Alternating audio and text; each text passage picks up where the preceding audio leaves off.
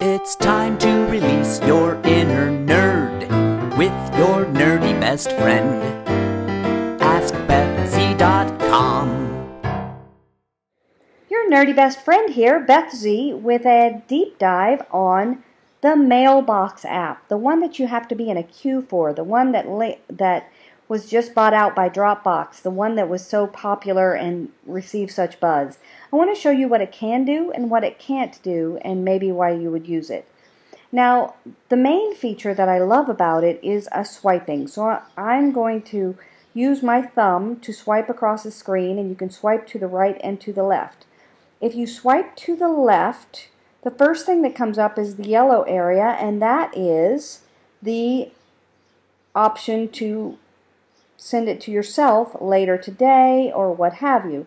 If you swipe it all the way to the right, you can put it in folders. The default ones are to buy, to read, to watch. Now I put in time block so that rather than doing later, which will come back to me in the email, I put it in a folder called time block so that I can work in it later. If you swipe to the right, the first thing that appears, the green, is archive. Now, frankly, I don't like the archive button. I don't know where it goes or what you do. It just is kind of in limbo and it's another group of emails that maybe I don't want to see. So I don't really use that very much. I swipe all the way, if I need to, to the right and do the delete button. Now, if I accidentally delete button, you have to shake the heck out of it, but when you shake it, a a dialog box comes up. I'm shaking away and it does take a lot of work and you can undo the last action really easily. So, except you have to shake a lot. So I'm going to click over here and you'll see my mailbox. Now, I am out of control with my email. I know that. That's why I'm looking so desperately for a solution. And I'm not sure this is it. But if you look, you've got your things that are in later, your time block, the things that are in archive.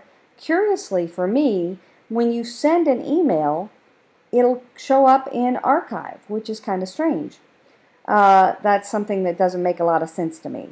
When you go into Gmail, now these are only accessible from Gmail, but luckily with Gmail, you can actually import your any of your emails, your pop three emails or your S, uh, your other emails into Google Chrome.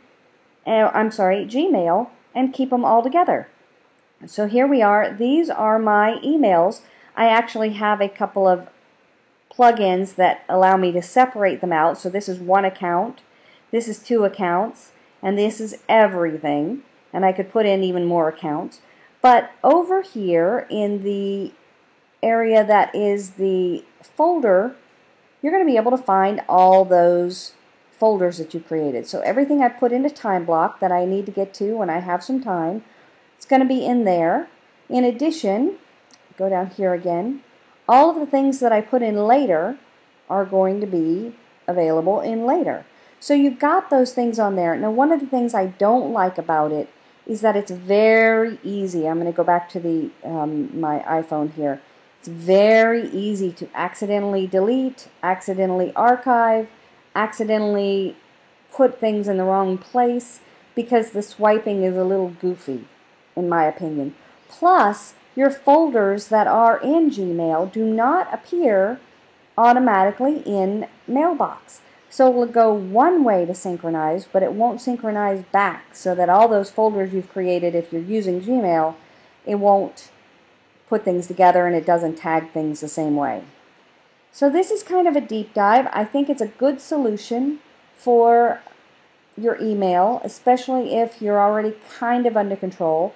I'm so far out of control that I need some bigger solutions, but I'm working on it right now and trying to get a hold of it. This is your nerdy best friend, overwhelmed with email, but more or less happy with the free mailbox app.